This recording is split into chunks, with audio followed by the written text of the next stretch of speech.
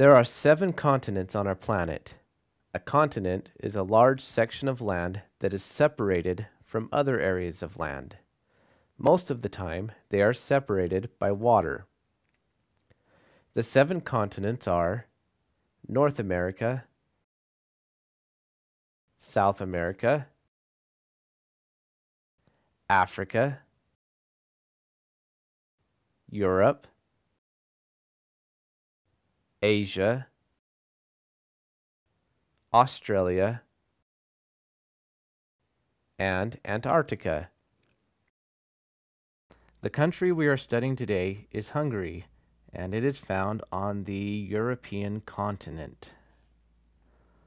Hungary is a landlocked country in Eastern Europe.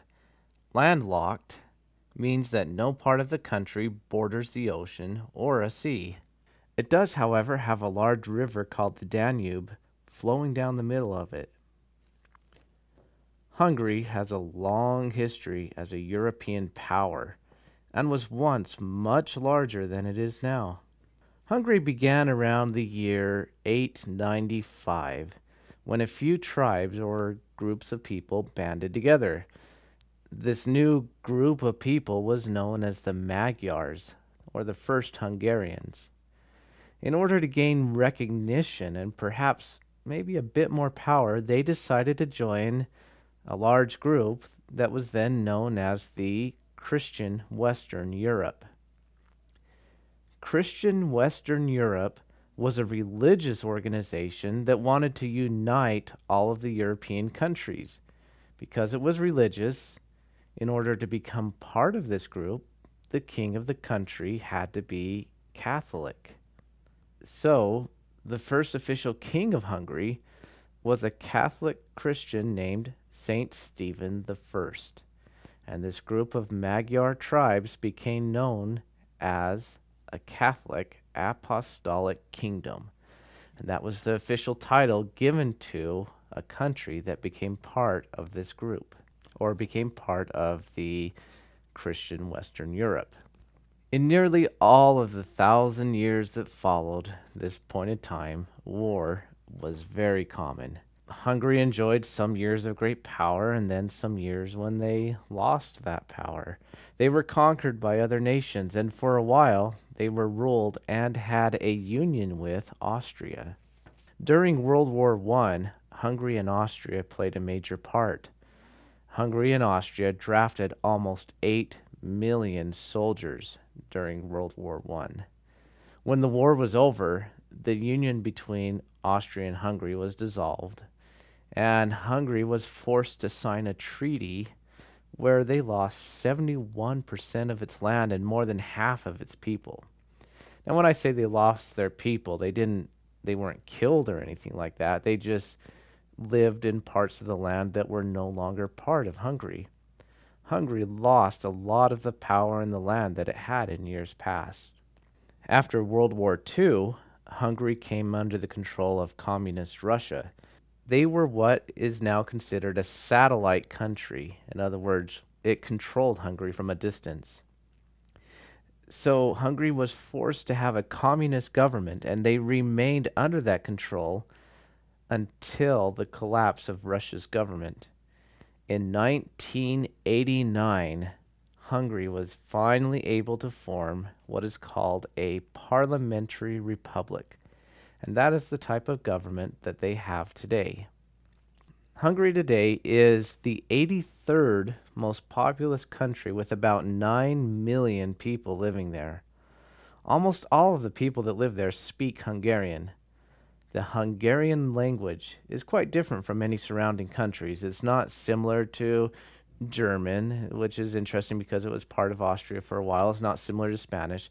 It's actually most similar to Finnish or Estonian. Folk dance is still practiced and celebrated in Hungary with traditional clothing and music. One popular dance style is called the Czardas. These dances have energetic music, bright, intricate costumes, and a beat that makes the observer want to jump in and join them. They're fun dances to watch and listen to, and if you get the chance, participate in. Hospitality and food are a big part of Hungarian culture. That means they pride themselves in taking care of visitors and their ability to feed them well. One of the national dishes of Hungary is a dish called goulash. Now, goulash may not sound very good, but it is quite good. Goulash is a thick soup or a stew with meat, pasta, and vegetables. And paprika is an essential seasoning in the soup. Paprika, which is made from ground red peppers, originated in Hungary. If you look in your kitchen cabinet, you your mom probably has a little bit of paprika in there. Most of the people who go to church in Hungary are Christian, or most of the time they are Catholic. The reason for this goes back to the early days of its history when the first kings became a saint or a member of Catholicism. As for the games they love, when it comes to sports, Hungary has always done very well in many of them. Since the world has started doing the Olympic sports, they have kept track of which countries have won the most gold medals over the years. And only seven of them, only seven other countries, have won more Olympic gold medals than Hungary. Soccer is one of the more dominant sports in Hungary. Hungary revolutionized soccer in the 1950s when they developed a new type of strategy that helped them remain undefeated for more than four years and 31 games. And that is a record that to this day has never been broken. A pastime or a fun thing to do for many Hungarians involves sitting in spas. And it is usually not the spa or the hot tub that you might be used to seeing Hungary has a lot of natural thermal lakes, or in other words, bodies of water, lakes, or ponds of some sort that are heated by the heat from the earth. Some of the early cultures and invaders of Hungary took advantage of this unique feature and they created bathhouses by piping hot water into a large hall for bathing or creating very large pools outside just for the public to come and sit in these large hot tubs. It was very relaxing back then and, and is still quite popular today. One other thing that you might find in just about every Hungarian home is a Rubik's Cube. The Rubik's Cube was invented by a Hungarian man named Erno Rubik. This game was invented in 1974 and quickly became popular throughout the world. It won Game of the Year in Germany and has become the best selling puzzle toy in the entire world. You might have a Rubik's Cube in your own house. Hungary is pretty far north, so that means it's usually pretty cold during the winter.